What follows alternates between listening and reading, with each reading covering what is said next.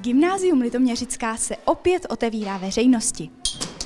Tento školní rok tu proběhne cyklus dějepisných přednášek známých historiků týkající se především 20. století. Pane profesore, proč se vlastně tyto přednášky konají?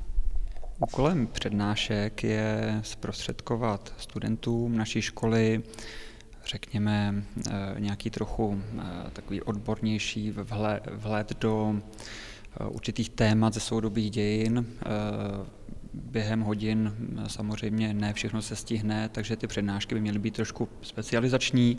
Jsou určené zájemcům a studentům, jako jste třeba vy, kteří přemýšlejí třeba nad studiem historie dále.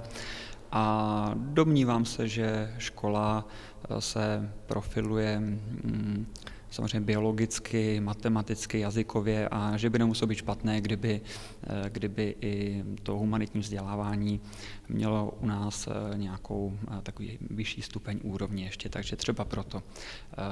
Kromě toho chtěli bychom sem přizvat i veřejnost, protože myslím si, že škola typu gymnázia, tak by mohla komunikovat s veřejností trošičku otevřeněji a zprostředkovat, eh, řekněme, i eh, tady ty eh, vystoupení nějakým, nějakému většímu počtu posluchačů.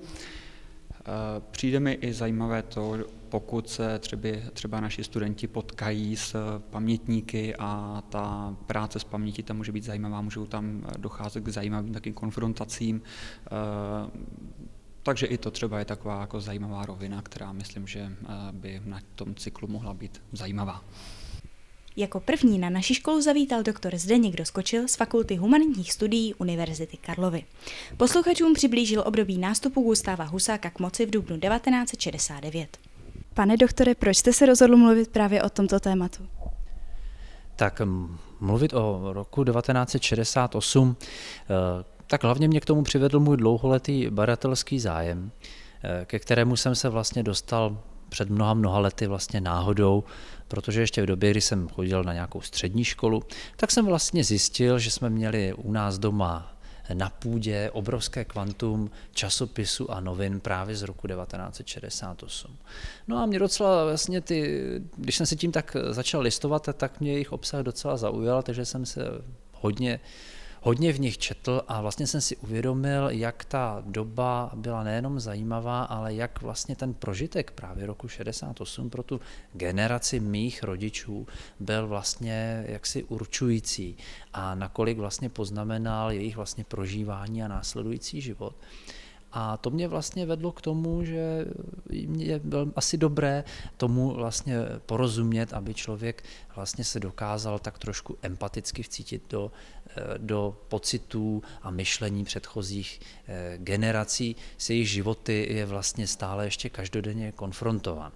Takže to byl takový ten vlastně prvotní impuls, No a ten eh, druhý impuls možná spočíval v tom, když se v období po listopadu 1989 ten rok 1968 vlastně připomínal převážně negativně, anebo v takovém kontextu, že vlastně to byl jen takový vlastně neúspěšný pokus o to, Eh, vytvořit to, co vlastně tady potom vzniklo v roce 8, po roce 89, tedy liberální demokracie eh, a kapitalistická ekonom, tržní ekonomika. Ale nic není zdálenější pravdě, protože tomu 68. roku přece šlo o něco diametrálně odlišného. Tak se těším na viděnou na další z přednášek z cyklu Historie na Gimlitu. Pro TV Gimlit Jitka.